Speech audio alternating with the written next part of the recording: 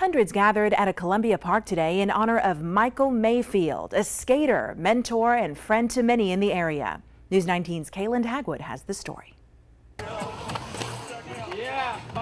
At Owens Field Skate Park Sunday, people gathered to watch the tricks, flips, and turns of local talent. It's clear it's not the first time they've shredded these slopes, but today is a little different. Today they skate in honor of Michael Mayfield. And I would almost 100% guarantee that Michael's met everyone here. Yeah, yeah, and probably given them advice on, yeah. on how to skate.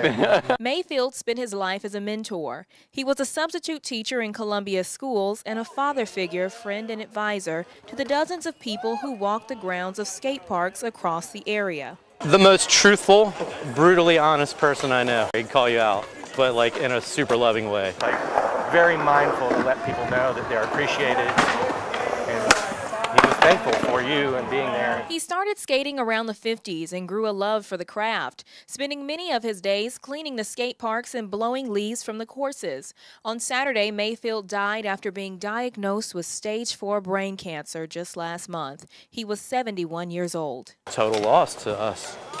I mean, we all we all knew it was coming, but yeah.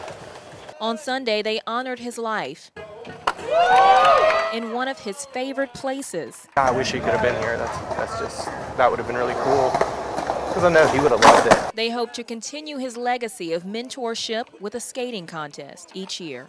Reporting in Columbia, I'm Kaylin Hagwood.